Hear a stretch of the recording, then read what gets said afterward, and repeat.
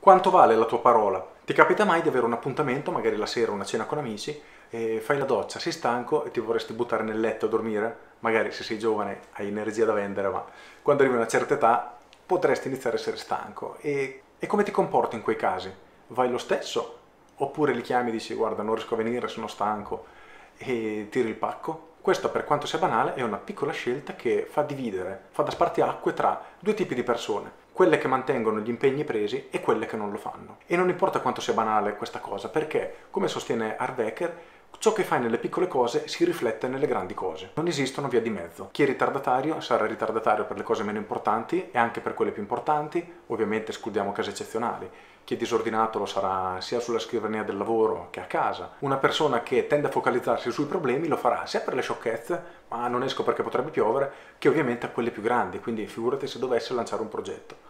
E per cui quando ti confronti con una persona, un ottimo modo per riuscire a capire il tipo di persona che è è guardare come si comporta nelle piccole cose. Se è una persona che mantiene la parola o se non la mantiene. E non importa quanto insignificante possa essere, perché, come ho detto, si riflette sulle grandi cose. E dalla mia esperienza, da quando ho iniziato a farci caso, mi sono reso conto che è davvero così. Ci sono persone che ti chiamano alle 8.55 dicendoti guarda sto male, non riesco più a venire a cena. Magari era una cena tra amici e ti avvisano 5 minuti prima dell'appuntamento. Quindi tu dici cavolo, ma allora potevi avvisarmi un paio di ore prima che, che ci si organizzava diversamente, ma pazienza, tu sai che su queste persone di base non puoi fare affidamento e sono sicuro che tu conosci qualcuno che si comporta in questo modo. Per cui te lo chiedo ancora, tu come ti comporti in questo modo? Io tendenzialmente se do la mia parola che farò qualcosa, sarò presente, e non importa quanto sia frivolo la questione, ma veramente deve cascare il mondo perché io non sia presente. Perché nel momento che prendo l'impegno io sono abituato a mantenerlo. E ora pensa a questo tipo di persone che ti avvisano 5 minuti prima che non vengono, sai che su 10 volte che dicono di venire ne vengono 3 o 2 o 4. Come ti comporteresti se dovessi collaborare con loro in ambito lavorativo? Gli affideresti qualche compito, qualche lavoro? Probabilmente no. Perché oggi, per fortuna, la maggior parte delle relazioni si basa sulla fiducia, quindi quando qualcuno non si comporta come deve, sai che la prossima volta è probabile che non lo sceglierai e questo gioca a tuo vantaggio se sei una persona corretta che rispetta gli impegni presi e al contrario ti gioca molto contro se sei una persona che non lo fa.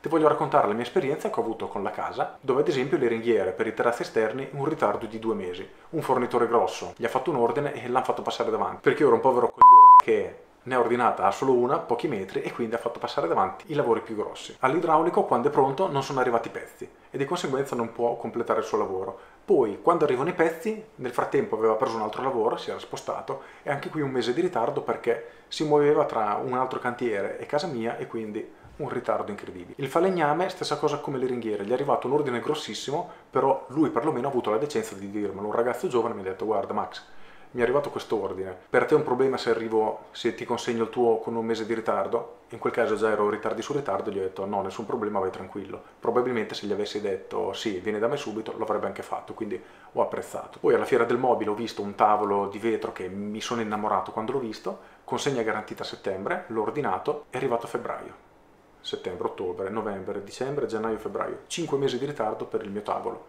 Ora, cosa significa consegna garantita? Poi il negozio magari non ha neanche colpe, giustamente dava la colpa a chi li deve consegnare, perché gli erano arrivati tanti ordini e non riuscivano a farlo. Però ti rendi conto di come purtroppo nel mercato di oggi mantenere la parola non sia assolutamente all'ordine del giorno. Per cui se hai un'attività, sfrutta a tuo vantaggio questa cosa, mantieni la tua parola, rispetta i tempi, consegni i lavori come promesso perché avrai un vantaggio competitivo nel lungo periodo che è difficilmente superabile. Con questo è tutto, io sono Massimo Martinini e ti saluto. Ciao!